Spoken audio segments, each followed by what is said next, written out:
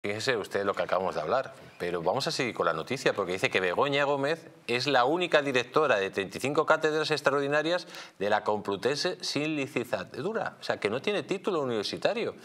Señor Jara, o sea, hemos hablado lo de la web, que vulnera todos los tipos de normas.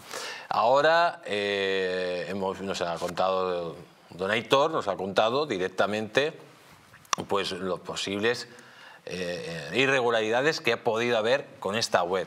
Pero es que además es la única, esta señora que dirige un máster de la Complutense, es la única de todos los másteres extraordinarios que no tienen titulación universitaria. Que por cierto, también hay una querella contra ella, porque la presentamos aquí, precisamente contra ella, por esto y contra el rector de la Complutense.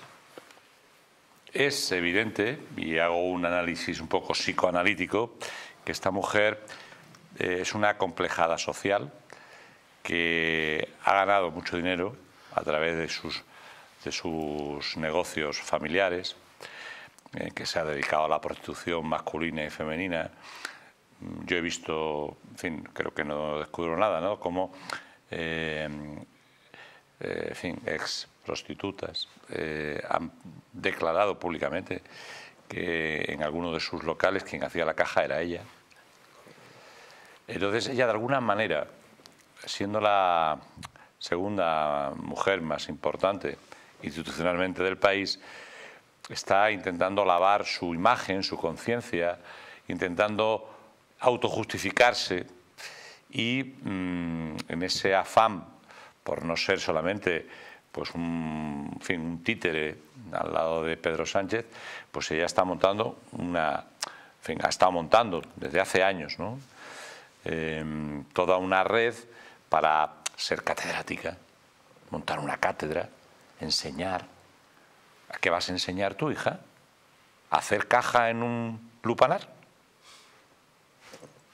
Es que no sé si me explico. Es que entonces está lo que acabamos de descubrir aquí es primero le dan la pasta para un proyecto que no existe y luego esta señora crea la empresa para el proyecto. O sea, esto es, esto es alucinante. O sea, usted es empresario también.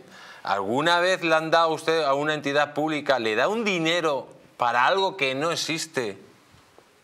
Y luego monta la, la, empresa. Luego la, tipa no directamente no tiene titulación para dirigir una cátedra ni cumple los requisitos de la cátedra extraordinaria. Es que esto es un, suma y sigue. Don Jesús, perdóname. No es que no tenga el título, que por supuesto en España tenemos pues eso, tenemos jerarquías, o sea, la titulación te permite acceder a determinados puestos de trabajo. Pero esto no es caprichoso, es que para ser catedrático de histopatología necesitas tener una formación que ese título te acredita. Usted ha pasado una serie de filtros. El problema de la, o sea, la cuestión de fondo es que esta mujer no tiene formación para no ser ya catedrática o, directora de la cátedra para, para ver cómo me lo trinco y me lo llevo. No, esto no. Es que no, no tienen ni esa formación. Como decía, en fin, me, me autocito que está fatal, pero esta es una complejada que necesita autojustificarse, demostrar evidenciar, sacar pecho, hacer, eh, pues eso, pues todo lo que estamos viendo con esta desfachatez y como siempre a costa de los riñones, de las espaldas de los españoles. ¿no? Habría también que meterle mano al tema de red.es, ¿no? O ¿quién está detrás? Que bueno, ya sabemos que es la máquina que tiene el gobierno para enchufar millones de sus amigos. Pues digo esto por el hijo de Calviño, por el marido de Calviño, etcétera, etcétera, que siempre eh, ha estado, vamos, hace meses y años que llegó las sospechas de para qué usaban red.es. Claro, eh, al final estos, aquí dos cosas. Uno, la impunidad que tienen o que se creen los políticos que tienen con el sistema, es una absoluta vergüenza. Eh, y dos, la poca falta de, vergüenza. es decir, es que no tienen ningún tipo de, de vergüenza de decir, oiga, es que esto se va a saber porque es un tema de tiempo porque es un tema de tiempo.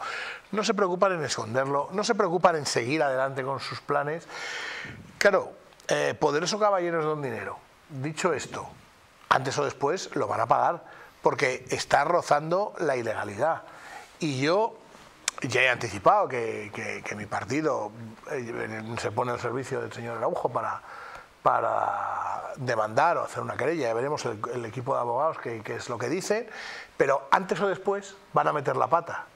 Y antes o después la sociedad civil vamos a ir a por ella, porque no podemos consentir esto. O sea, es, es la impunidad absoluta, eso es el Far West. Yo no, jamás pensé que podía en democracia ver esta democracia. Tú has explicado muy bien la bajada de, pantalones que llevamos como país desde que Zapatero se puso al frente, de, al frente de España. Aparte de la bajada de pantalones, yo creo que han visto que hemos perdido absolutamente todo el poder, que no somos nadie y que lo único que pueden ellos llegar y hacer desde el poder es enriquecerse a sí mismos y a sus amigos. Claro, esto, esto es una pena porque a nivel país nos va a destrozar, estamos ya destrozados y nos va a terminar por reventar.